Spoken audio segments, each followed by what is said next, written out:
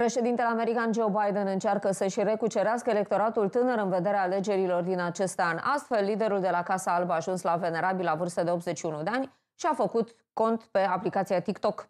Prima postare a lui Biden a fost despre finala de la Super Bowl, câștigată duminică de Kansas, Kansas City Chiefs.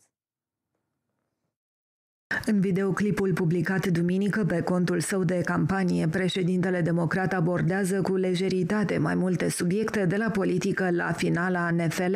Chiefs or Niners? Two great quarterbacks, hard to decide. But if I didn't say I was for the Eagles, then I'd be sleeping alone. My wife's a Philly girl. Game or commercials? Game. Game or halftime show? Game.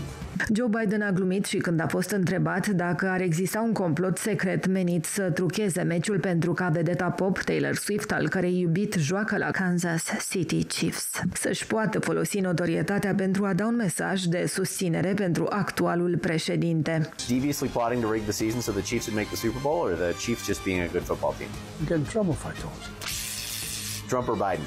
Are you kidding?